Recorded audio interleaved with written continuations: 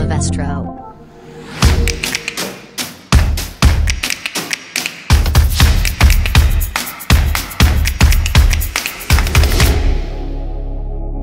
Artificial intelligence is a broad and interesting topic. Today we will be looking into how we leverage this technology in our DSD plant in Dormagen.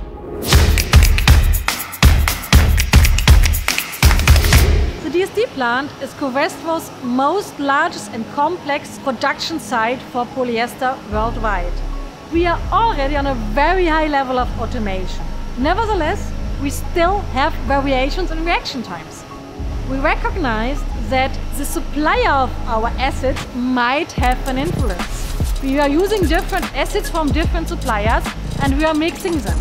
So what is the right set of parameters to really reduce our reaction?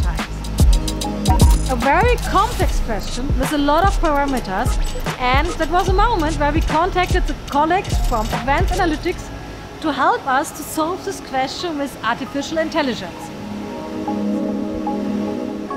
We built up a team with experts from all over Covestro. They got access to our data, a huge data lake, a treasure, which we never used in its full potential before.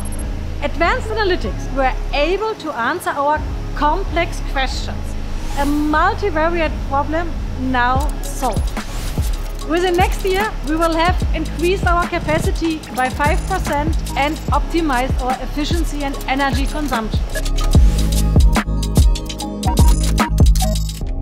We are really, really happy about the results so far. And I'm super convinced this would never have been possible without the help and the results of artificial intelligence. So here's what we actually did with the colleagues in Dormagen.